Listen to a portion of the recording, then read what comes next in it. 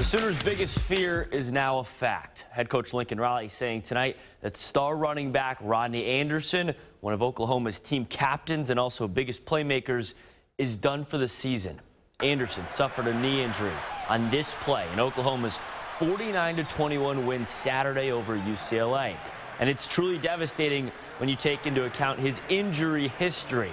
Anderson missed most of 2015 with a broken leg, then all of 2016 with a fractured vertebrae. Riley releasing the following statement tonight, quote, we're heartbroken for him. He's overcome so much in his career, and if anybody can do it again, it's Rodney.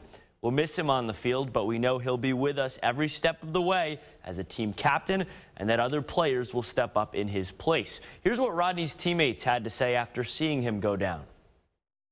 Man, that's tough. That's tough. Rodney's my guy, and, and I work out with him in the off season, so I know how hard he works. At the end of the day, his hard work is going to pay out for him. I mean, it's always tough to see one of your teammates go down and stuff like that. So I'm definitely praying for him. But at the end of the day, um, like I said before, it's Oklahoma, next man up.